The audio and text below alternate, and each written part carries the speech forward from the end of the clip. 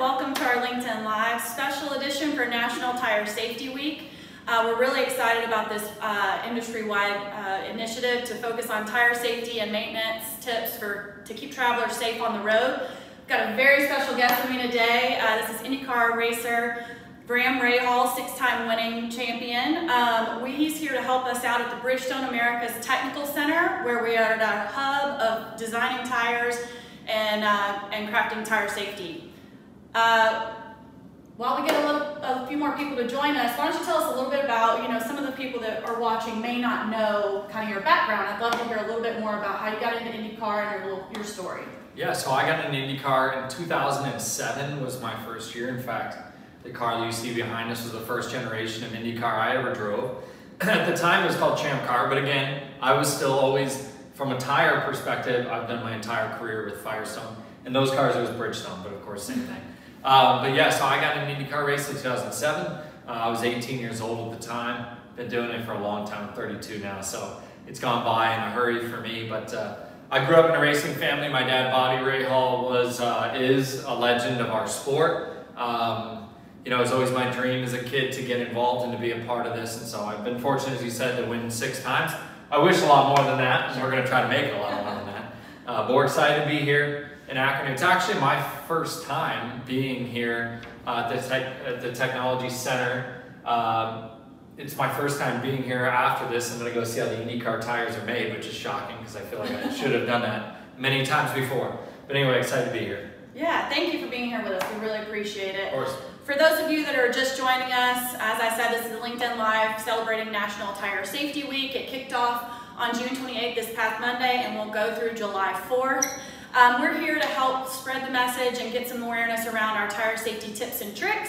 Um, at bridgestoneamericas.com slash tire safety. We'll walk through some of those with Graham today.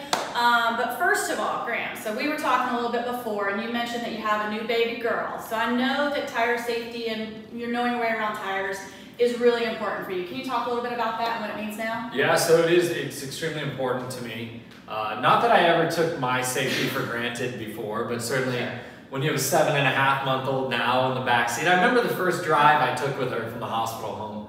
It's pretty intense, you know, it, it is different, it's very different.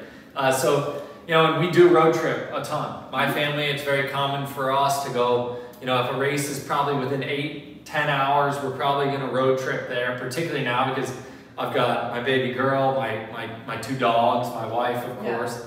Yeah. so we all road trip to a lot of those different events, but uh, it's important, and I think all the tips and things that we've been promoting today are definitely critical for people to keep in mind. So why don't we get to those? I believe there's three of them, right? There is. All right, let's There is, and I should, I should remember because I've been doing this all day. But the three things to remember are inflate, rotate, and evaluate. So inflate is obviously to make sure that your tires are at the right pressures. Um, there's a couple of places to look for that. But the main place is going to be inside the, dire, uh, the, the driver's uh, door jamb.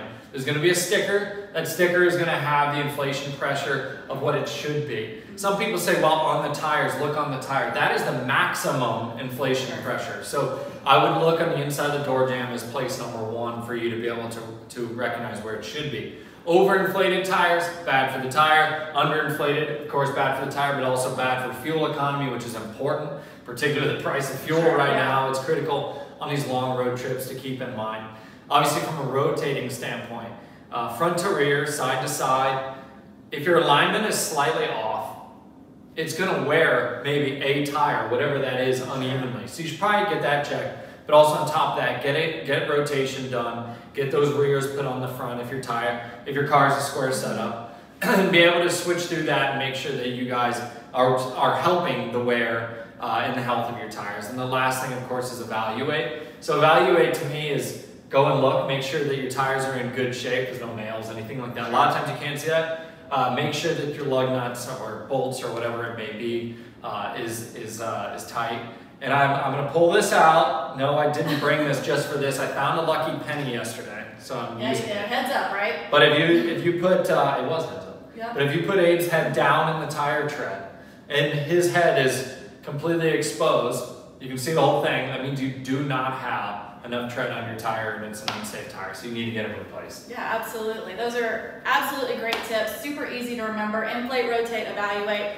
Now, people watching here probably are not experts at rotating their tires, maybe like you are in your souped up garage. But um, if someone needs help rotating, what do you suggest? So obviously, uh, Bridgestone Corporation owns a bunch of, of, tire shops that you can go to, auto care shops that you can go to. Um, but on top of that, you do have your local independents that you should look at. Um, so whether it's a local independent tire shop or even your dealer, a lot of those places can, should, will help get that, get you back in line. Very good.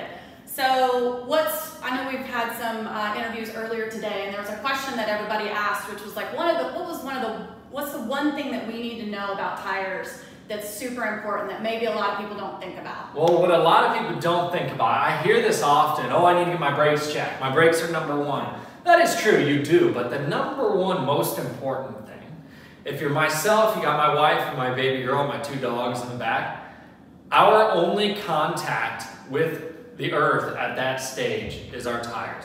And if our tires are not in good condition and they're not safe, then we are not safe. If I don't have enough tread and we're going down the freeway and all of a sudden, you know, we hit a patch of rain and we go sliding around and crash, there's a reason for that. And you need to make sure that you look at it. This weekend, 4th of July coming up, obviously over the next couple weeks, and I've already seen it, because again, in IndyCar, we've been going around the country a little bit. I've been driving to a bunch of races. It's busy on the roadways right now. There's a lot of people out and about, but this next weekend and the remainder of the summer, I anticipate even more.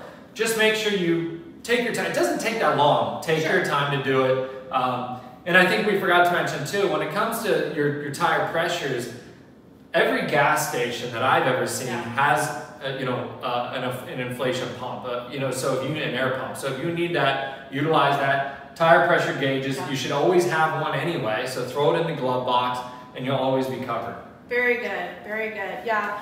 So um, Bridgestone Americas actually conducted a survey not too long ago that said 50% of Americans are planning to do a road trip of some sort this summer, get back on the road. I know we talked about the races this summer, July 4th, Labor Day, and then you roll into the winter and yeah. you've got the weather that kind of changes sporadically. So um, inflate, rotate, evaluate is definitely an all year thing to remember for sure. I think so too, and, and that's what I kind of mentioned today. We're, we're talking about summer, but even when you think into the fall, if you're from the Midwest like me, when you get big temperature changes, hot, cold, hot, that affects your tire pressures a lot. And so you need to make sure even as you go into the fall, the winter, that you're staying on top of this because they will change. And if your car hasn't moved in a while, you better believe the pressures are going to be very low. So always check it out. It, as I said a second ago, it's super easy.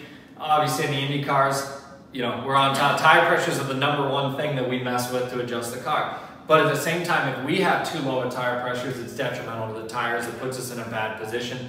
If they're too high, we lose a lot of grip. So we, we it affects us in the Indy cars a lot. And I can guarantee if it affects us there, it'll affect you guys. Absolutely. And you're going, what, 240 miles an hour at that rate? So we are. pretty fast. Um, so those tires are really important for them. So let's shift a little bit away from that. I know you're an IndyCar racer, so you're having a pretty good season.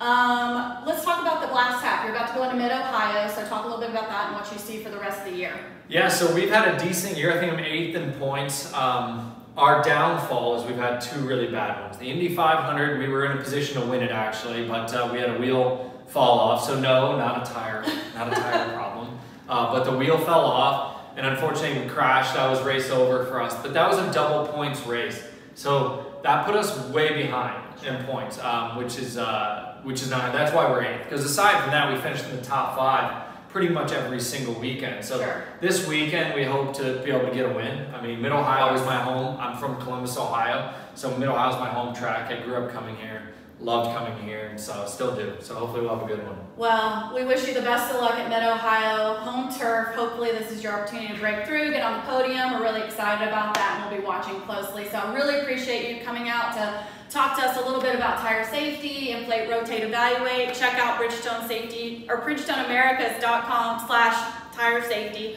for more information. Graham, I really appreciate you being here. Yeah, thank you. Thank you guys very much. And guys, thank you so much for joining us. I really appreciate it from here in the Bridgestone Americas Technical Center in Akron, Ohio. Have a great day.